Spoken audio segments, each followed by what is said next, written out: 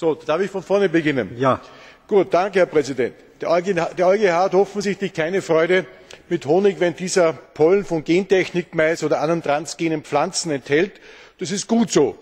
Die Kommission unterläuft aber dieses Urteil, indem sie vorschlägt, GVO Pollen als natürlichen Bestandteil von Honig zu qualifizieren und damit nicht zu kennzeichnen.